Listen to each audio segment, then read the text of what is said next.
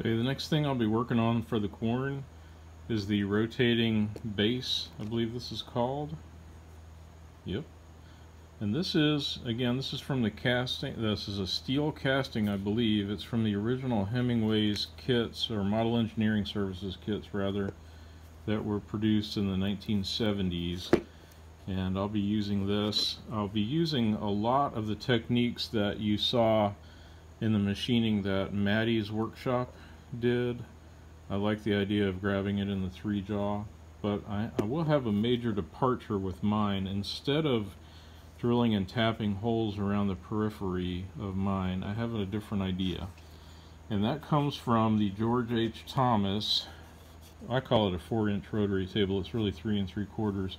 But just to give you an idea of how small this thing is, here it is in a Whitman sampler chocolate box, which I don't know why I keep it in that, but for some reason I do, with little rust-free tablets.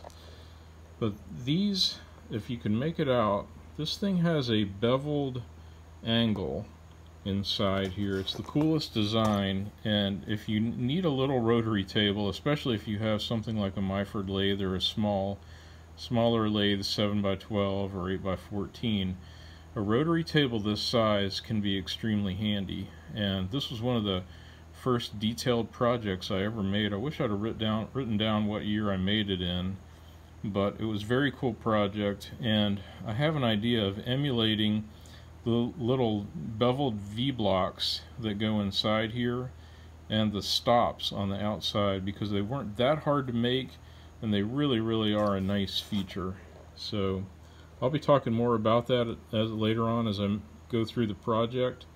But I love how this came out. This was a solid cylinder of steel for the upper part and then a solid block of steel for the base.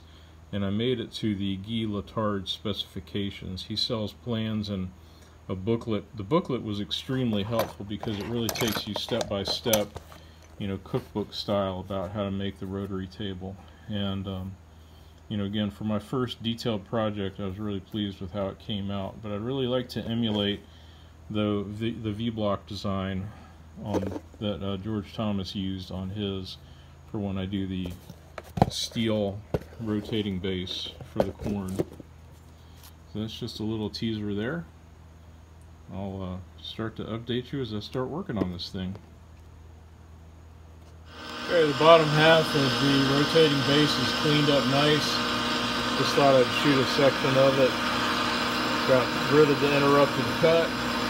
Looking good. I'm going to leave about 20 thou extra of diameter because I'm obviously going to have to clean up the overall thing. So I'll leave myself a little extra for some finishing cuts.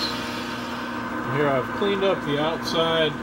Left 20 thou on the outer edge there so it's three inches and 20 thou. And then I faced off the bottom. That really didn't take much to take to clean that up. And now I'm cleaning off the eccentric little stub there. I've taken, believe it or not, I've taken 115 thou off so far. You can see the shiny part. And I've got the automatic feed on there. I'm taking off 70 RPM and then increments of only 10,000 now, 10 thousandths of an inch. So a cut depth of 5 thou, just till I get that to a uniform.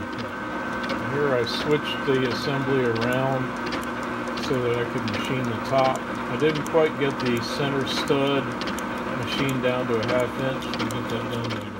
Just a quick note, as you could see, I had to flip this thing over from one side to the next when I um, machined both sides of it, and I left, I, I, I, turned some of this down on the lathe but I left a little bit um, there because I'm going to machine it flat in, in the mill eventually.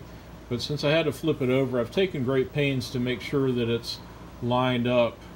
Um, you know, the, the base of it is, is flush, as good as it can get, so that I, everything should be fine for turning down the little stem there. Hey guys, I finally got the lathe to run in reverse. I basically had to repair the switch so I'm cutting down now. I wish I'd have done this before, but I didn't. So I'm machining down, turning down the center stub. It's probably a little difficult to see, but down to a half inch diameter for the entire quarter inch length inside from the bottom of the uh, bottom of the part, bottom of the rotating base. So what I'm doing, I'm looking at my z-axis. I set it at zero with the tool just touching. So I'm going down to 0.25 low, just about there. Okay, excellent. And as you can see, I have about 98 thou to turn off. So I won't video any more of this.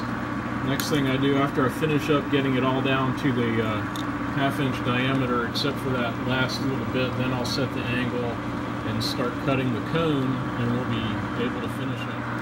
Hey folks, I'm so happy I got the lathe running again in reverse. Now I'm I've finished cutting the stem down to the half inch and I'm starting to cut the cone shape on the inside. Remember I'm using cast steel and it is a lot tougher than the gunmetal kind of part that Maddie's workshop that Maddie was using. But Maddie, I'm indebted to you for coming up with this technique. I'm using a boring bar set that should clear, and uh, I'm actually finding it's cutting really good in reverse. Well, of course the lathe is in reverse, but I'm, I'm drawing the cutting tool towards me, if you will, folks. So you can start to see the cone starting to appear here. There you go. My lathe light is not not the best, so I've got a little flashlight here. I need to get a get a drop light I can hang over for detail work. But pretty excited about getting this. I'm gonna stop videoing right now so I can put all my attention to it and get the cone cut all the way down to the 45 and that should complete this part. Okay, well I finished turning the outside. It was interesting because I left the the periphery a little bit large if if you might recall from the earlier segment. So I actually had to file down a little bit so that the this part would clear so I could check and make sure that it seats. But it seems to seat nicely in there. And I've taken off a couple of extra cuts just to make sure I've got it fully seated. And um, I, I, don't dare take off any more because I don't want it to be loose on the cone after all this work. So I think we've got a nice 45 degree cone here. Let me turn the flashlight on. Maybe you can see it a little bit better. So I think I'm going to stop work on this for tonight. And well, that's not really much help, is it? Anyway, stop work on it tonight. I think the next part, the uh, next obvious things to do are take this out my plan has been all along to grip this in a 5C collet chuck so that I can turn just, I left a little, like a 20 thousandths rim here, turn this down so it's, it's perfect, you know, right at the three inch mark, and then of course put it in the mill and mill this part flat and then drill the, uh, or bore the 5 8 inch hole. So I'm pretty confident I can get those things done this weekend.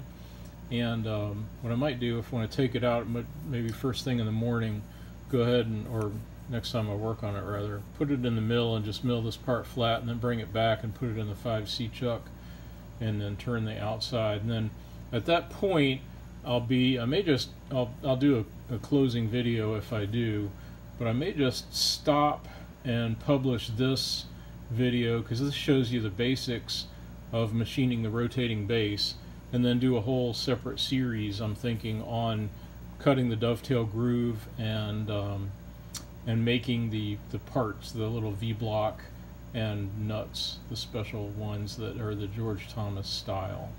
So that's tonight's update. Really excited that I got the lathe working again. When I finish that and figure it all out I'll publish a separate video about that. Thanks.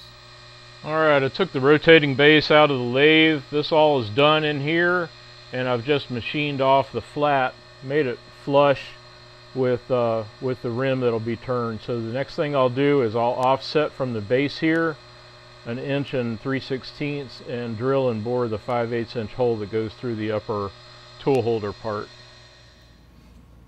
Okay, I didn't take video of it, but it's pretty obvious. Uh, just uh, drilled and reamed out the 5 8 inch hole here for the tool holder rod. And the next thing to do will be to drill and tap for the set screw through the top. Alright, I got the part back in the lathe. As you can see, I've got it chucked up in the 5C collet chuck. I'm just taking my first skim cut on the outside. Just taking a couple thou off just to see where I'm at and get a measurement. And um, glad I have this set up. I'll keep you posted as I get it down. All, all I'm simply doing is turning it down to the three, in, three inch outside diameter should be the last cleanup cut. I am glad I left the 15 thou or about 20 thou extra so since I was going to machine it this way. It's, it's cleaning up pretty good. This should put it right at 3 inches, maybe 3 inches plus a thou or something, and then I can just file it to get a nice smooth finish before I start cutting the initial cuts of the dovetail groove. So pretty happy with this so far. Well, happily, I've got this thing down to exactly three inches on the diameter, near as I can measure it.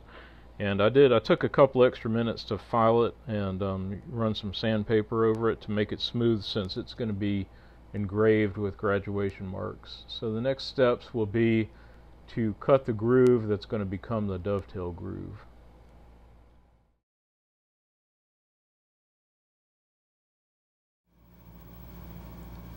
Okay folks, here is the rotating base with the basically all of the machining done, the preliminary machining done, or the easy stuff before I get to cutting the bevel angle, which just for a refresher, so I cut the slot uh, 219 thousandths wide and 190 deep so far and all I've got to do now is I've got to sharpen up my little um, 3 16 inch diameter tools and the and figure out the holder that I'm going to use since this is a different lathe. And I haven't had a chance to do all that yet but what I was thinking is I probably have enough little segments of machining to get up to this point that I'll put all this together and make this one video.